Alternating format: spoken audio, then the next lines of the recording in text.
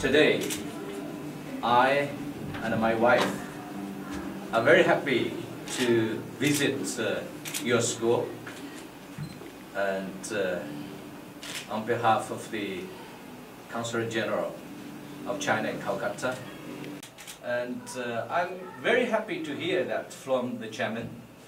90% of the materials of, of building this school are from China. It's a good example of the friendship and the cooperation between India and China. So I hope in the future we can have more exchange between China and India. And uh, the Chinese consulate general in Calcutta provides our strong support for the education, for the uh, activities of SAI International School.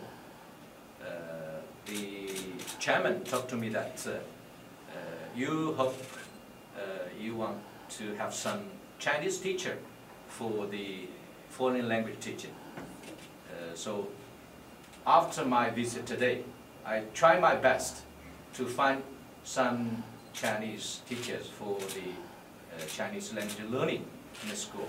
So next time, I hope I can talk with the students in the school in Chinese. We are confident for the future of the school and uh, we are strongly believe that uh, we have a very close and a good relationship between the Chinese consulate and the SAI International School. Thank you very much. And uh, oh, I forget to introduce myself. I'm the Consul General of China in Calcutta. Say hello to all the teachers and the students, boys and girls again. My name is uh, Wang Xuefeng. 沙义国际学校的各位老师、同学们，大家好！我今天非常高兴来到呃你们的学校，因为我自己也是一个老师，所以我在学校里边通常是非常的高兴。嗯，刚才我看到的很多的优良的教学设施，以及孩子们全面发展的教育，我感到非常的印象深刻。嗯，我希望。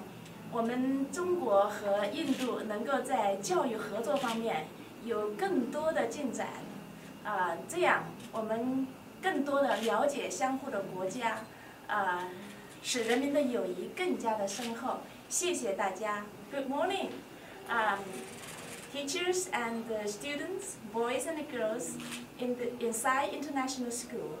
I'm very glad to be here with my husband to visit Sai International School.